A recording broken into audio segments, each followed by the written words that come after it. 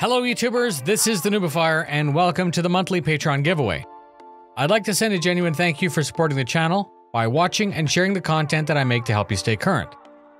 This contest allows me to reach new gamers who may have never heard of Star Citizen. It also gives you an opportunity to get your friends who've never heard of Star Citizen involved. Imagine if your first experience with Star Citizen is winning a $400 game asset. It goes without saying that I can't offer these contests without the direct support of the Patreon backers. 100% of their donations return to you in the form of these giveaways. So now in the channel's regular, no bullshit style, here's what you need to know. This month's prize is an LTI Carrack.